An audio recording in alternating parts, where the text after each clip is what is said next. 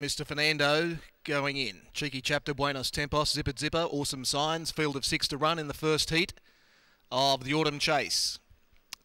And they're loaded away. Green lights on. Ready to jump. Set. Racing, Son of Rum away fairly fast out was Awesome Signs with Cheeky Chapter. Mr. Fernando working up behind those. Just wider was Buenos Tempos, Zippered Zipper. And Son of Rum now back at the rear. Mr. Fernando got the inside run at the first turn and dashed away. Led by three lengths over Awesome Signs. Cheeky Chapter, Zippered Zipper, Buenos Tempos wide. Then Son of Rum, Mr. Fernando clear into the straight, leads by five over Awesome Signs. Cheeky Chapter, Buenos Tempos. Mr. Fernando remains unbeaten over the trip. Zippered Zipper flew home for second. Awesome Signs got third, fourth, maybe Cheeky Chapter ahead of Son of Rum and Buenos Tempos. Number three, Mr. Fernando, the winner.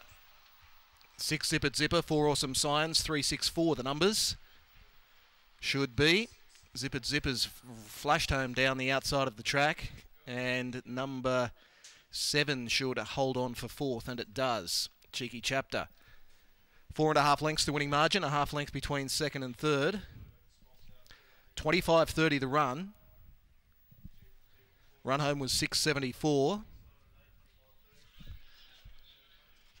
And that winner, Mr. Fernando.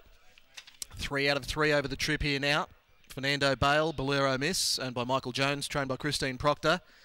Runner-up, Zipper Zipper, V-Man Vane, Miss Clowntown, Nancy McIntosh. And Awesome Signs by El Grand Senor out of Isa Woman. R. Evans and Jay Thompson, Barry Evans, the trainer. 3647 four and a half lengths by a half, 25.30. Winner should return $1.80 and $1.20, $3.60 for second, no third dividend. And the Quinella 740 exacta 910, trifecta 2610, first four 125.30, and the running double on races two and three $7.10.